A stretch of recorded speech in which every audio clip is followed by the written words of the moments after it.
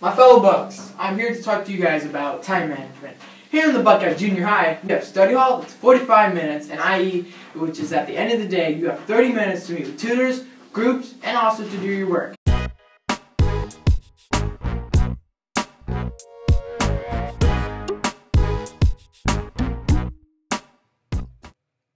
Do bring your materials. Don't forget your materials. Do your work and don't talk. I encourage you guys to use your time wisely, or else you fall behind your work very, very fast. Now, a wise man once said, either you run the day or the day runs you. Now, I can't wait till you guys are in the Buckeye Junior High and have a bucktastic day.